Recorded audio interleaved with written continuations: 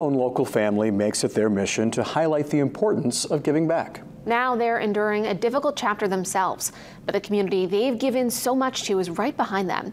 Sierra Whaley has more. The family will do anything for anyone, and this is time that we need to get back to them. Christina Wheaton and her husband Brad have made it their mission to uplift the community they call home.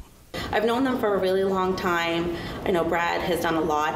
Her husband Brad has done a lot in the community. They passed on that kind spirit to their two boys and the people around them. That's why their best friends and community members came together at a time they needed support the most. Christina Wheaton and her family are going through the unthinkable right now with her son Riley, um, who is currently hospitalized at Boston Children's Hospital with a condition called myocarditis. The rare and serious heart condition came from a viral infection which caused his heart to accumulate fluid just recently came off of their specialized ECMO machine that was providing complete heart uh, support to his lungs, but he still is um, sedated on a breathing machine. Anticipated length of recovery and when he'll be discharged is unknown. Now they're creating fundraising efforts for Riley. Colleagues of Christina's, or as they call her, KMAC, at St. Joseph Hospital in Bangor, put together postcards for reminders of positivity. They also started a GoFundMe for the Wheatons, which has raised over $30,000 already people that have worked with KMAC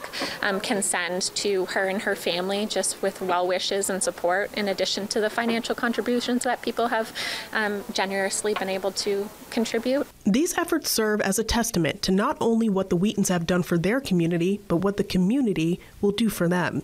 This has been essentially a no brainer for everybody, it seems like. Someone's in need in our community. What can we do? Let's do it. Sierra Whaley, WABI TV 5 News, Newport. For more information on how to donate to the Wheatons or to see a full list of events coming up in the community that's going toward this effort, you can follow the link on our website and mobile app.